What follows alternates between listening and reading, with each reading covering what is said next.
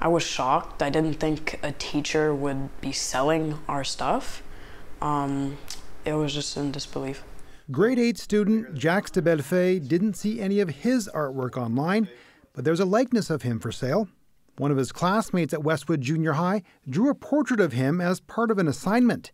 It can be found on Mario Perron's artist website and also showed up in an online art printing site. That's not all.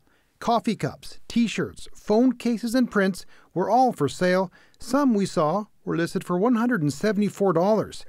Jax doesn't think he'll ever trust a teacher again.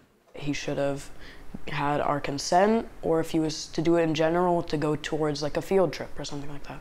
More on the next one. His dad is outraged and says Perron was using the kid's work for his financial gain. I cannot believe that that you know this teacher had the nerve, the gall, uh, to actually do something like this to the kids. He wants the teacher fired.